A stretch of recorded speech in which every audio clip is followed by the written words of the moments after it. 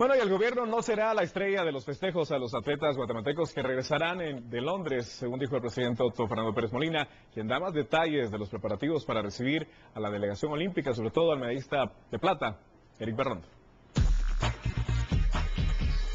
Las actividades nosotros no estamos queriendo tomar ningún protagonismo como gobierno. Yo designé a Dwight Pesarosi como comisionado eh, de Deportes, comisionado presidencial de Deportes, está la viceministra de Cultura y Deportes, eh, Lola Molina, y, e incluso está también Martín Machón. Que esta comisión que nosotros designamos esté coordinando con CONADER y esté coordinando también con los mismos miembros del Comité Olímpico para que todas las actividades que se puedan realizar sean actividades en conjunto